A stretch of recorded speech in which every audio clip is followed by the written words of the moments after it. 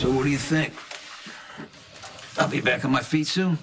Well, I know you're working with your own private PT along with the group here, which I think is an excellent strategy to help regain your mobility. Nice and vague. Hey, I've been honest with you from the get go. Yeah. Physical and occupational therapy can be grueling. You're not going to start walking after a few sessions. I just feel a little stronger, you know? Well, that's good. That's the kind of commitment that we want to see. You ever want to walk again, it's going to be because of that. Let me ask you something. Have you ever known me not to get what I want? Hey. Hey, Sam. Wow. You look elegant. Oh, thank you. How are you doing, Sonny? I'm doing much better, thank you. Um, your boyfriend's just pretty tough on me. That is fiance to you. and if he's being brutally honest, I know that's just the way you like it. That's very true. You're a lucky man to have a, a beautiful woman like this who looks out for you. Don't I know it? But isn't that breach of etiquette? Isn't it bad manners to show up to bride? It's nothing compared to whatever getup Carly intends to grace us with. Speaking of, uh, too bad you can't join Carly at the wedding. I'm going to Yeah. miss you. Well, you wanted to be there considering I wouldn't be alive if it wasn't for that Jake guy who saved my life, you know? Carly, can you hear me? I can hear you. Can you hear me?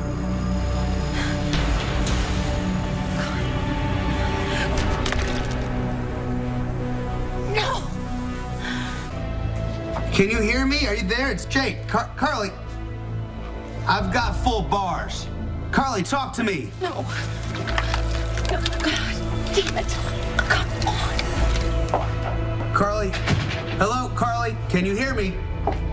Carly, Hey, Carly, yeah, hey, hey, what's going on? Carly, hello, Wait a minute, Jake, what's wrong? Carly, talk to me.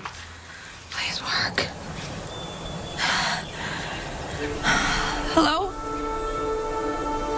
Hello? Can you hear me? Hel- Hello?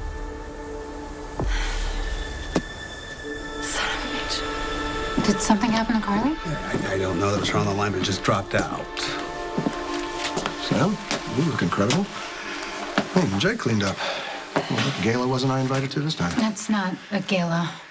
It's a private event. Oh, that's right. You're marrying my ex-wife today. You need to keep moving. I will, I will. I'm going to see a client. I just want to wish you, you know, the best of luck. May you get everything that you deserve. Yeah, go see that client. Uh, okay, is, if if it's not obvious, he is obviously jealous and obsessed with Elizabeth, so don't let him get to you. He's powerless. Good. He is right about one thing. So, You look fantastic. Uh, Um, anyway, Carly, I'm, I'm sure she's late because she's running some last minute errands for you. She, she called me last night. She, she left a message said it was urgent. She needed to speak to me. But you know, I went to her place, and Bobby said she hasn't been there. She didn't come back last night. Okay, well, did you check the nurse's station to see if she crashed in Sonny's room? None of the staff knows anything.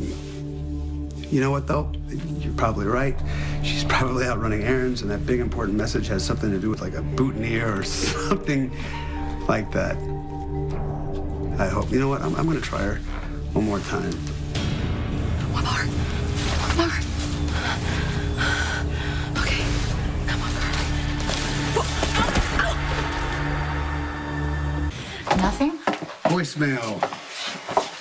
Okay, well, maybe she is at Sonny's, or it's possible she's on her way to the church right now. I don't like it.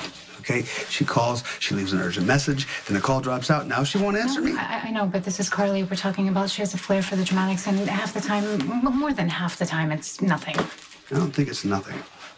I have a thought. Look at you in that dress. Oh. Hmm.